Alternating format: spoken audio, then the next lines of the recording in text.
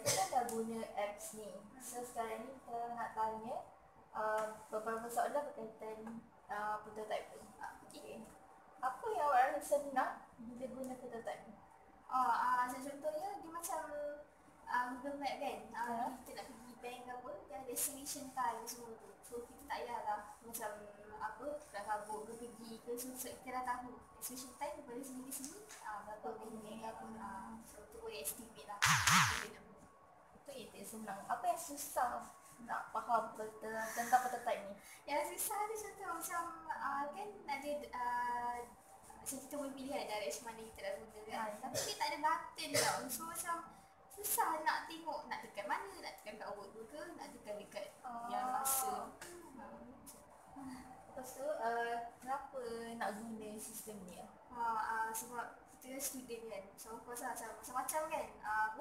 Uh? Uh, urusan kat bank nak bayar iuran ke, nak keluarkan duit ke. Uh, so mostly so, kalau saya dan aku student, of course lah nak akan guna sistem. Okay, kalau sebagai student juga, kenapa dia orang macam tak nak guna sistem-sistem macam ni? Okey, contohnya kadang kan uh, selaju tiba kan dia nak tukar kad lah contoh. Tiba CMB boleh-boleh nak tukar bank Islam. Ah. Tapi contoh sebelah sistem ni dia tak ada uh, uh, servis yang nak buat kad ke. Uh, so jadi macam agak susah sikit lah sebab tak ada function tu kan. So Kena pergi tak ada beza. Ha, pergi. So, sebagai pandangan seorang student, macam mana sistem ni fit kan dalam kehidupan sehari student?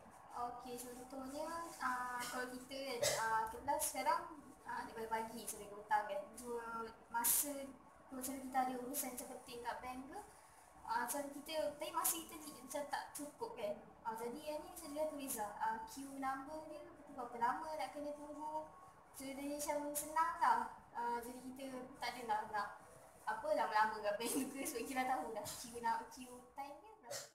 Apa yang awak harap sistem ni ada yang tak ada sekarang? Maksudnya apa yang diharapkan ada penambahbaikan dalam sistem ni? Hmm, kau boleh tambahkan lagi servis dan function tu lah. So, contohnya tadi kan macam nak buat kad kan, tak ada. Lepas tu, um, contoh kalau untuk pada kalau community kan, so sesuai community yang guna. Jadi macam, uh, dia orang mesti lagi banyak urusan kan, alumni apa benda semua tu. Uh, so, kalau boleh, press kat situ terus. Uh, so, Oh. service banyak kan. Tambah dan servis lah. Terima kasih.